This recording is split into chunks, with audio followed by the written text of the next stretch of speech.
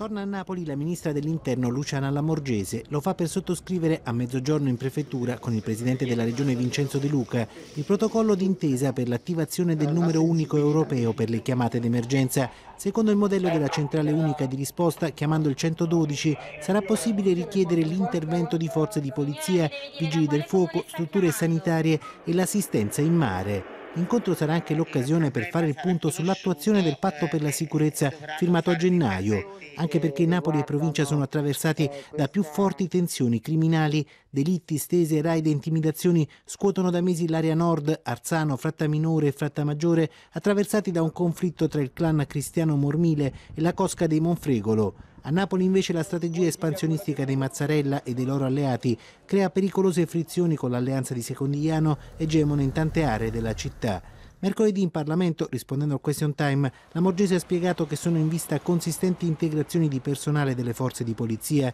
nuovi agenti da destinare al contrasto alla criminalità organizzata e al controllo del territorio. Altro tema nell'agenda della ministra, le misure da adottare per evitare le infiltrazioni della Camorra nella gestione e realizzazione dei progetti finanziati dal PNRR. Fronte caldo su cui il sindaco di Napoli Gaetano Manfredi ha chiesto un'azione di coordinamento forte da parte del Ministero dell'Interno. Dopo l'incontro in prefettura, la Morgese interverrà nel primo pomeriggio alla stazione marittima al primo forum sui beni confiscati alle mafie.